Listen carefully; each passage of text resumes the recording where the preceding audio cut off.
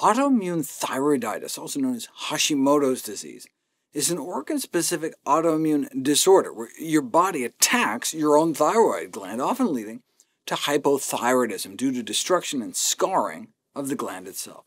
Uh, we know there's a genetic component, since identical twins are more likely to share the disease than fraternal twins. However, even with identical twins, the concordance rate was only about 50%, meaning even if your identical twin with basically the exact same DNA as you has the disease, there's only like a flip of a coin's chance you'll get it, emphasizing that other important factors other than your genes play a role in the development of the disease. Genes load the gun, but environment may pull the trigger. More than 90 chemicals have been noted disrupting hormonal balance or thyroid function. However, only a few such pollutants show evidence that they contribute to autoimmune thyroid disease. These include polyaromatic hydrocarbons, which smokers get a lot from their cigarettes, but in non-smokers, exposure comes almost entirely from food. Polycyclic aromatic hydrocarbons are primarily formed when muscle meats, such as beef, and pork, fish, or chicken, are cooked by high-temperature methods such as grilling.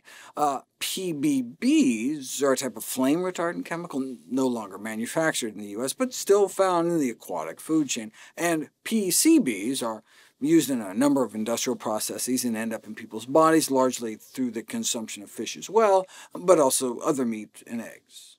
So one might suspect those eating plant-based diets would have lower rates of hypothyroidism, and indeed, despite their lower iodine intake, vegan diets tended to be protective, but they've never been put to the test in an interventional trial.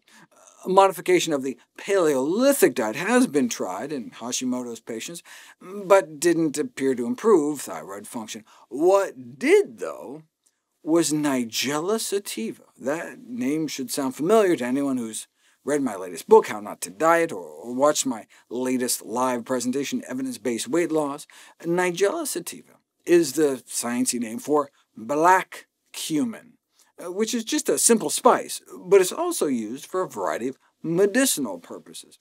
In this study, a randomized, double-blind, placebo-controlled trial of eight weeks of a half teaspoon of powdered black cumin a day in Hashimoto's patients, not only was there a significant reduction in body weight, which is why I profiled it in the book, it also significantly reduced thyroid-stimulating hormone, a sign that thyroid function was improving, and even lowered the level of autoimmune antithyroid antibodies, as well as increasing blood levels of thyroid hormone T3 in these Hashimoto's patients.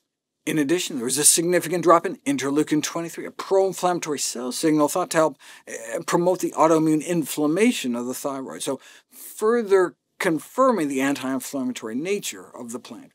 And what were the side effects? Well, a 17% drop in LDL bad cholesterol. And given the fact that patients with Hashimoto's may be at particularly high risk of developing heart disease, well, this is exactly the kind of side effect we'd want. Considering these health-promoting effects of black cumin, it can be considered as a therapeutic approach in the management of Hashimoto's related metabolic abnormalities. A similar trial failed to find a benefit, though, same dose, same time frame, but no significant changes in thyroid function. In contrast with the last study, though, they were not all Hashimoto's patients, but rather hypothyroid for any reason, and that may have diluted the results. And it's possible that telling patients to take the black cumin doses with their thyroid hormone replacement therapy may have interfered with its absorption, similar to other foods and drugs, uh, which is why patients are normally told to take it on an empty stomach. Since there are no downsides, I mean, it's just a simple spice, I figure, hey, why not give it a try? I mean, the worst that can happen is you'll have tastier food.